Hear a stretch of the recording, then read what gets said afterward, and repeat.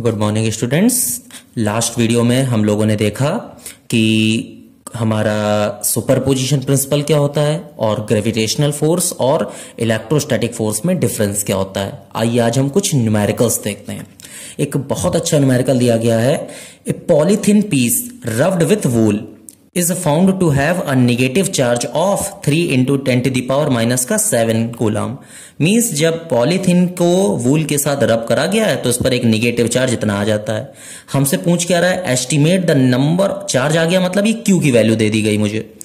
Estimate the number of electrons transferred from which to which number of electrons means हमसे small N पूछ रहा है। और from which to विच ये भी पूछ रहा है कि किससे किसमें होंगे? पॉलीथिन से वूल में कि वूल से पॉलीथिन में? और फिर हमसे एक और ये बहुत इंपॉर्टेंट टॉपिक इसी में पूछ रहा है कि is there a transfer of mass from wool to polythene कि क्या मास का भी ट्रांसफ़र होगा? तो आइए देखते हैं कि कितने इलेक्ट्रॉन्स होंगे और क्या ट्रांसफ़र होगा।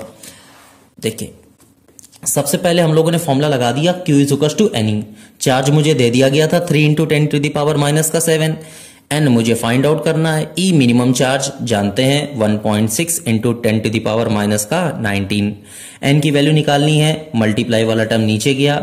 डिवाइड कर लिया। वैल्यू आ गई हमारी निकलकर 1.875 point eight seven five into ten to the power twelve मतलब इतने इलेक्ट्रॉन ट्रांसफ़र होंगे। लेकिन कहाँ से कहाँ तक ट्रांसफ़र होंगे? तो हम ये देखते हैं। कि पॉलीथीन को जब हम लोग रब करते हैं वूल के साथ तो polythene becomes negatively charged wool becomes positively charged तो अब हम जानते हैं कि इलेक्ट्रॉन्स हमेशा क्या होंगे बेटा? निगेटिव से ट्रांसफ़र होंगे। मतलब कि इलेक्ट्रॉन्स हमेशा वूल से पॉलीथीन में जाएँगे। क्यों? हमारा वूल जो है, वूल हमारा निगेटिवली चार्ज हो गया है और जो पॉलीथीन है, वो निगेटिवली चार्ज हो गई है। इसलिए इलेक्ट्रॉन हमारे ट्रांसफ़र होंगे वोल से पॉलिथिन में। अब दूसरा क्वेश्चन देख लेते हैं कि क्या कोई मास का भी ट्रांसफ़र होगा? तो आप लोग ये समझ लीजिए, जब भी कभी इलेक्ट्रॉन्स ट्रांसफ़र हो रहे हैं तो अगर इलेक्ट्रॉन ट्रांसफॉर्मेशन में एन की वैल्यू एक से ज़्यादा है तो डेफिनेटली मास का भी ट्रांसफॉर्मेशन होगा।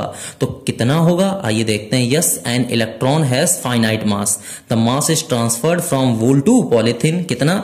तो delta m is equal to आ जाएगा। Small n number of electrons into mass of electron number of electrons अभी मैंने निकाले, ये रख दिया। मास ऑफ़ इलेक्ट्रॉन जानते हैं 9.1 point one into ten to the power minus का 31 केजी मल्टीप्लाई कर दिया, ये आंसर आ गया। मतलब इतना मास हमारा ट्रांसफ़र होगा। आइए एक और बहुत अच्छा क्वेश्चन पढ़ते हैं। दिया गया है the electrostatic force on a small sphere of charge 0.4 microcoulomb microcoulomb due to another small sphere of charge minus का 0.8 microcoulomb in air is 0.2 newton क्या दे रहा है कि चार्जेस सबसे पहले Q1 ये दे दिया गया Q2 ये दे दिया गया और फोर्स जो लग रहा है एयर में वो ये दे दिया गया। तो पूछ क्या रहा है? Find the distance between the two spheres मतलब हमसे स्मॉल आर की वैल्यू पूछ रहा है। और फिर पूछ रहा है find the force on the second sphere due to first कि फ़र्स्ट स्फेयर पर जो फोर्स लगेगा सेकेंड के थ्रू वो हमें निकालना है। तो याद करिए, हम लोगों ने कूलम्स लॉ में पढ़ा था कि फ़र्स्ट वाला चाहे सेकंड पर फोर्स लगाए और चाहे सेकंड वाला फ़र्स्ट पर लगाए। दोनों पर लगने वाला फोर्स सेम होता है। तो अगर हम पहले वाले से फोर्स की वैल्यू निकाल लें तो सेकंड वाले का आंसर तो अपने आप आ गया। कोई प्रॉब्लम नहीं है। एक चीज़ आप लोग और देख लीजिए। यहाँ पर चार्जेस कूलाम में ना देकर, यहाँ पर देखिए दिए गए माइक्रो कूलाम्स। तो ये माइक्रो ये सब क्या है? तो आइए कुछ कूलाम्स की यूनिट अगर कूलाम में ना देकर अदर दी गई है तो उनको हम कैसे चेंज करेंगे? तो वन पिको कूलाम, लिखा हुआ मिलेगा हमें वन पीसी चेंज कर देंगे मल्टीप्लाई करके ten to the power minus का ट्वेल्व कूलाम से वन नैनो कुलाम, इस तरह से लिखा हुआ मिलेगा वन एनसी क्या कर देंगे हम लोग? चेंज कर देंगे ten to the power minus nine से। फिर उसके बाद वन माइक्रोकुलाम इस तरह से लिखा हुआ बनेगा one mu C, ten to the power minus six से मल्टीप्लाई कर देंगे। One milli coulomb means ten to the power minus three से मल्टीप्लाई कर देंगे। आइए देखते हैं। कूलाम्स लॉ हमने पढ़ा है F is equals to one upon four pi epsilon naught q one q two upon r square force की वैल्यू थी zero point two eight it is रख दी। One upon four pi epsilon naught पूरी की value होती है nine into ten to power nine वो रख दी। पहला charge four zero point four microcoulomb था तो zero point four into ten to the power minus six जैसा मैंने बताया था। दूसरा था zero point eight into ten to the power minus का सिक्स कुछ लोग कहेंगे, सर माइनस छोड़ दिया। तो माइनस प्लस केवल क्या दिखाएगा कि दो चार्जेस अगर अपोजिट हैं तो लगने वाला फोर्स अट्रैक्टिव होगा। दोनों सेम होते हैं तो रिपल्सिव होगा। बाकी और इसका कोई काम नहीं है। यहाँ से आर स्क्वायर तो आर स्क्वायर ऊपर जाएगा ज़ीरो पॉइंट टू नीचे आएगा। तो यहाँ से हम आर स्क्वायर की सबसे पहले वैल्यू निकाल लेते हैं। तो यहाँ से हम लोगों ने आर स्क्वायर की वैल्यू निकाल ली सॉल्व करके ये आ गई। स्क्वायर रूट ले लिया इसका तो वैल्यू आ गई सॉल्व करके twelve into ten to the power minus का टू मीटर तो इतनी हमारी सेंटर के बीच की डिस्टेंस होगी और सेकेंड पार्ट का इसका आंसर मैं बता ही चुका हूँ। ठीक है ना? तो एक क्वेश्चन आइए और देखते हैं। बहुत अच्छा क्वेश्चन है और इस तरह का क्वेश्चन बहुत इंपॉर्टेंट है, बहुत ज़्यादा पूछा जाता है। ध्यान से सुनिए। क्या कह रहा है? फोर पॉइंट चार्जेस हैं मेरे पास। Q A q B q C q D two microcoulomb minus five microcoulomb two microcoulomb and minus five microcoulombs are located at the corners of a square ABCD ये देखिए, मैंने figure बना दिया A B C D एक square बना दिया। ध्यान आपको ये रखना है, जब भी कभी चार्ज हम रखेंगे तो हमेशा एंटी क्लॉकवाइज डायरेक्शन में रखेंगे। स्टार्ट आप कहीं से भी कर सकते रखना, लेकिन चार्ज हमेशा हम एंटी क्लॉकवाइज डायरेक्शन में रखेंगे। तो देखिए, मैंने रखा ए बी सी डी तो q A q B q C q D इस तरह से चार्जेस रख दिए। Each of side ten centimetre सबकी साइड हमारी टेन सेंटीमीटर होगी। कह रहा what is the force on a charge one microcoulomb placed at the centre of the sphere तो सेंटर मिलाने के लिए यहाँ से एक डायगोनल ड्रॉ कर दिया, एक यहाँ से डायगोनल ड्रॉ कर दिया। तो सेंटर ओ हमें मिल गया। यहाँ पर एक चार्ज रखा है q naught is equal to one microcoulomb पूछ रहा है कि यहाँ पर इन चार्जेस की वजह से कितना फोर्स एक्सपीरियंस होगा इस वन माइक्रोकुलाम पर। ये हमें निकालना है।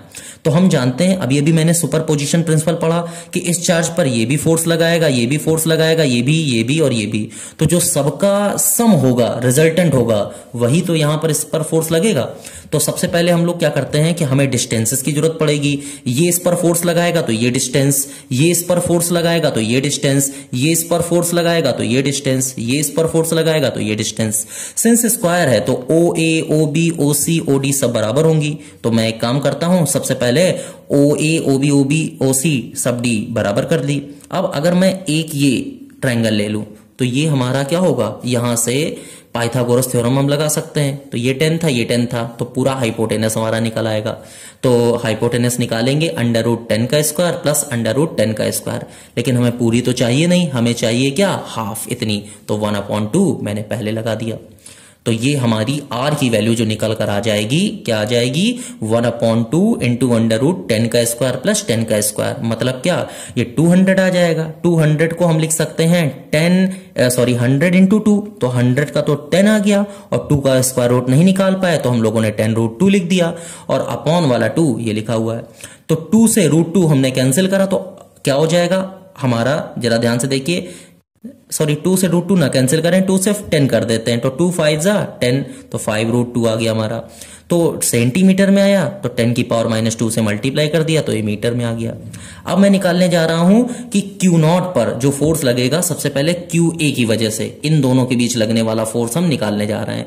तो क्या करा हम लोगों ने? फॉर्मूला हम लोग जानते हैं कि एफ़ ओ ए ओ और ए के बीच लगने वाला force one upon four pi F naught q one मतलब क्यू ए हो जाएगा। या और दूसरा क्यू नॉट हो जाएगा। तो q naught q A upon O A का होल स्क्वायर डायरेक्शन क्या हो जाएगी? एक चीज़ आप लोग और ध्यान से देखिए, क्वेश्चन सॉल्व करने से पहले। हम देख रहे हैं कि ये प्लस है और ये माइनस है। तो हम जानते हैं कि चार्ज प्लस वाले से दूर माइनस की ओर तो इस पर लगने वाली डायरेक्शन जो हो जाएगी, वो हमारी इधर की ओर हो जाएगी। मतलब हम लोग यहाँ पर कहेंगे कि डी की वजह से जो फोर्स लगेगा, वो कुछ इधर की ओर होगा। यहीं पर अगर हम इधर की ओर बात करें तो ये प्लस है, ये माइनस है, लगने वाला फोर्स इधर की ओर होगा। प्लस से दूर, माइनस की तरफ़। यहाँ पर देखिए, ये प्लस है और ये प्लस है। तो अब इन दोनों के बीच रिपल्सिव फोर्स लगेगा। तो जब O और C के बीच जो फोर्स लगेगा तो C से अपोजिट मतलब हम लोग कहेंगे कि ये जो लगने वाला, इधर की ओर फोर्स होगा, ये QC की वजह से होगा। और इन दोनों के बीच ये भी पॉजिटिव है तो लगने वाला फोर्स इससे दूर मतलब कि ये फोर्स जो होगा, ये QA की वजह से होगा। आप लोगों को समझ में आ गया। ये जो इधर की ओर फोर्स लगा था, ये क्यू डी की तरफ़ होगा। क्यों? क्योंकि माइनस की तरफ़ होता है। और ये क्यू बी की तरफ़ होगा। क्यों? क्योंकि फोर्स हमारा, हम लोग जानते हैं निगेटिव की तरफ़ होता है। तो हम लोगों ने देखा कि ये दोनों फोर्स एक दूसरे को बैलेंस करेंगे। ये दोनों फोर्स एक दूसरे को बैलेंस करेंगे। तो एक काम हम करते हैं कि सबसे पहले हम लोगों ने इसको सॉल्व करा। One upon four pi epsilon naught की value nine into ten to the power nine फिर उसके बाद यहाँ पर हम लोगों ने देखा क्यू नॉट और क्यू ए दोनों की वैल्यू रख दी। फिर ओ ए की वैल्यू रख दी, इसका स्क्वायर कर दिया सॉल्व करा, ये आ गई वैल्यू अब ए की वजह से आई है तो ए पर लगने वाला फोर्स हम लोग जान रहे हैं कि किधर होगा? अलोंग ओ सी मैंने देखा, दिखाया है कि क्यू ए इधर की ओर लग रहा है तो ओ सी की तरफ़ इधर की ओर लग रहा है। ये आ गया, देखिए। अब हम क्या करते हैं कि ए की वजह से निकाल लिया है। अब मैं सबसे पहले सी की वजह से निकाल लेता हूँ, क्यों? क्योंकि ये एक दूसरे को बैलेंस करेंगे। तो अब मैंने क्या करा कि force on q naught due to charge q C अब हम इसकी वजह से निकालने जा रहे हैं। तो देखिए, जरा अब हम क्या करते हैं यहाँ पर कि अब मैंने जब यहाँ पर फोर्स निकाला तो फिर से वही formula one upon four pi epsilon naught q naught पर निकालना है क्यूसी की वजह से। और डिस्टेंस दोनों की ओसी का स्क्वायर फिर से इसकी वैल्यू नाइन इंटू टेन की पावर नाइन क्यू नॉट पर वन माइक्रोकुलाम चार्ज था। QC टू माइक्रोकुलाम था। डिस्टेंस सेम है। सॉल्व करा 3.6 आ गई। लेकिन इसकी डायरेक्शन कहाँ पर है? हमने आपको दिखाई थी, इसकी डायरेक्शन है अलोंग ओ ए तो वैल्यूज़ दोनों की देखिए 3.6 इसकी भी आई और 3.6 हमारी इसकी भी आई। लेकिन दोनों की डायरेक्शन क्या है? अपोजिट है। तो हम लोग यहाँ पर ये दिखा रहे हैं कि it is clear F O A plus F O हम लोग यहाँ पर कहेंगे ओ ए की वजह से और ओ सी की वजह से। जो लगने वाला नेट फोर्स है वो ज़ीरो होगा। क्यों? क्योंकि दोनों की डायरेक्शन अपोजिट है। मतलब इन दोनों की वजह से और इन दोनों के बीच लगने वाला ये जो फोर्स है, ये नेट फोर्स हमारा क्या हो गया? इन दोनों के बीच जो लगने वाला नेट फोर्स है, ये ज़ीरो हो गया। अब हमारे ये दोनों फोर्स बचे इन दोनों की वजह से और एक इन दोनों की वजह से लगने वाला फोर्स तो आइए देखते हैं। अब हम लोगों ने क्या करा? Force on q naught due to charge q B q B की वजह से फोर्स हम लोग यहाँ पर क्या कर रहे हैं? अब निकाल रहे हैं। तो हमने क्या करा यहाँ से? F O B one upon four pi epsilon naught क्या? Q naught q B upon O B का स्क्वायर सारी वैल्यूज़ रखी। सॉल्व करने से वैल्यू आ गई नाइन और किधर की ओर आ जाएगी? अब माइनस वाले की तरफ़ होती है तो इसकी डायरेक्शन हो गई अलोंग ओ बी अब हम क्या करते हैं कि क्यू नॉट पर लगने वाला फोर्स क्यू डी की वजह से तो फिर से वही काम one upon four pi epsilon naught q naught q D upon O D का स्क्वायर माइनस वाले की तरफ़ डायरेक्शन मतलब अलोंग ओ डी सारी वैल्यूज़ रखी सॉल्व करने से वैल्यू आ गई नाइन अब फिर से हम देख रहे हैं कि यहाँ पर डायरेक्शन है अलोंग ओ बी और यहाँ पर डायरेक्शन है अलोंग ओ डी तो इधर देखिए एक डायरेक्शन आ रही है अलोंग ओबी और एक डायरेक्शन आ रही है अलोंग ओडी फिर से हम लोग देख रहे हैं कि वैल्यूज़ तो दोनों क्या है? सेम है।